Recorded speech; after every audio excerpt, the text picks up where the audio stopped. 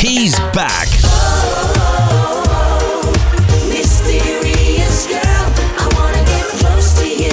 Peter Andre, live.